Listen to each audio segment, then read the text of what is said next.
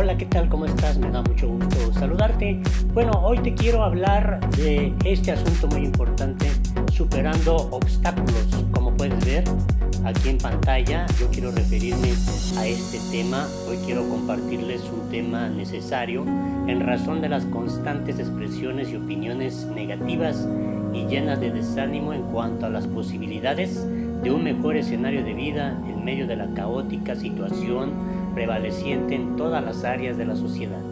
Debemos estar conscientes que toda acción, meta, sueño, emprendimiento, pequeño o grande, fácil o difícil, siempre tendrán obstáculos y barreras que superar. Desde luego que los retos y los obstáculos forman parte importante de nuestra vida cotidiana, de todas las esferas de la comunidad y esto nos puede permitir mejorar día a día o bien empeorar. No es fácil mantener la visión y el propósito en medio de un escenario que constantemente provoca una confrontación y desgaste de energía. Los obstáculos en nuestra vida, a pesar de que nos ofrecen resistencia y generalmente van en sentido opuesto a nuestra dirección de vuelo, son precisamente los que nos hacen fuertes y siempre y cuando no desistamos ante ellos y más bien nos aprovechemos al máximo, lograr el, objetivo, lograr el éxito, depende de ello. Cada quien vive experiencias, aunque a veces aparentemente similares. Lo cierto es que cada quien asimila el aprendizaje de manera distinta y en ocasiones unos más productivas que otras.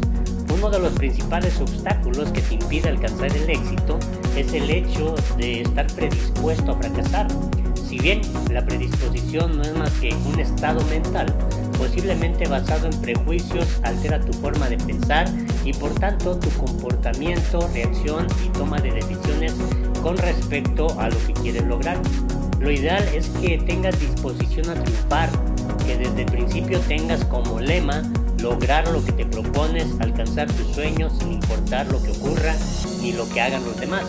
En la actualidad muchas personas tienen miedo a las críticas y ese es un gran obstáculo que en ocasiones se impone y se piensa que si se continúa en el camino la gente va a criticar o se va a burlar de lo que se hace. Cuando realmente, en el mayor de los casos, los demás están tan ocupados cada uno consigo mismo que ni tiempo les queda para criticar.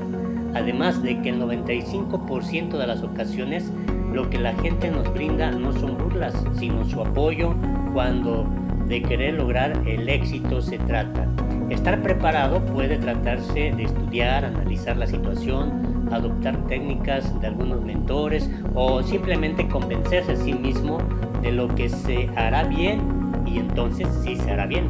Pues bien, así como muchas otras cosas, pensar en grande es un hábito que se puede adquirir.